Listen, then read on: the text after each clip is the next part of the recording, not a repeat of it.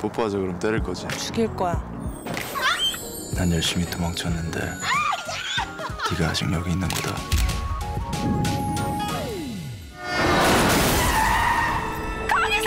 아저씨가 우리 아빠 그런 거 아니잖아. 왜 거짓말을 하세요? 너 같은 놈 하나 세상에서 묻어버리는 거 나한테는 식은죽 먹기보다 쉬운 일이야.